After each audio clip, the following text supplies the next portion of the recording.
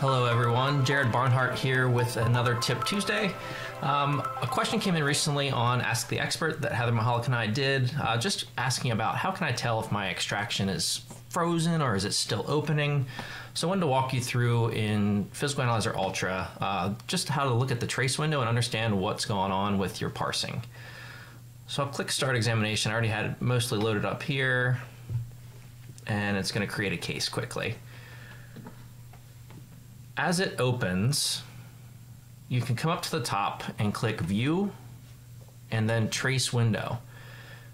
The trace window is going to show you all the individual parsers and plugins and things that are running against the data uh, that you're trying to open in Physical Analyzer and show you which, which process it's running. If, for instance, parsing Google Play takes a very long time, it's possible that the Google Play uh, just has a ton of data. And we see this uh, a lot of times in like an sms.db file, that sort of main chat file uh, that might have a lot of content. So it could sit and it could churn for a while.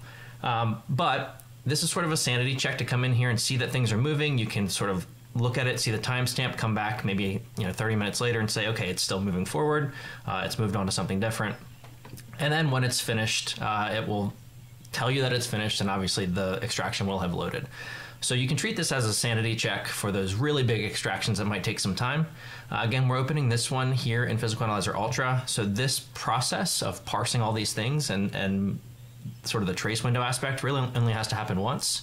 Now all of that analyzed data is going to be database. So the next time we open, it's going to open very, very quickly.